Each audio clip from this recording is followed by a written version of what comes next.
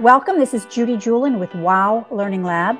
I'm thrilled today to be here with Leon Campbell Jr., who is not only the Chief Inspiration Officer of WOW Learning Lab and the Program Director, but he's also Youth and Family Director of Agape International Spiritual Center. And he's speaking about meeting teens where they are and our Teen Tools and Hope series. Leon, can you give us a little sneak peek of what you'll be talking about?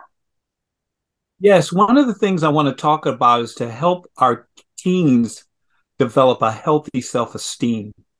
Many times, the image of what we see in the world does not help us to develop a healthy self esteem. And that's one of the reasons why you see so much depression and suicides among our teenagers. But I want to first help them develop a healthy self esteem, and that is working with them to let them know that, that they're vital, that they're worthy, and that they uh, make a major difference and they can make a major difference in the world in spite of their age and that they're not empty vessels to be filled. They didn't come here uh, to be filled out with a lot of wisdom. They came with the wisdom and our role as parents our role as educators is to draw it forth. We want to see the butterfly now.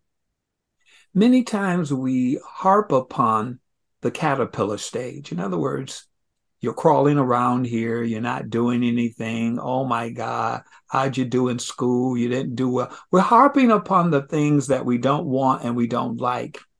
But if we begin to see the butterfly, we begin to wait at the finish line for them, figuratively. I love that. See begin. the butterfly. And that's just a little glimpse of what Dr. Leon Campbell Jr. is going to be talking about this coming Tuesday, a week from today, May 2nd, from 7 to 8 p.m. PST, meeting teens where they are. You can register now at freedom-teens.ticketleap.com slash teen-tools hyphen and hyphen hope. Join us then. And any parting words, Leon? I look forward to our time together.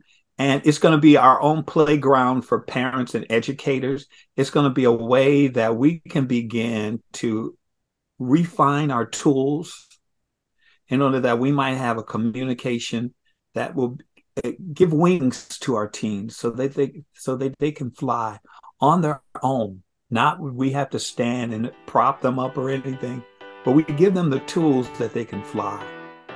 And, i love uh, that. Give them the tools that they can fly. So thank you leon we'll see you next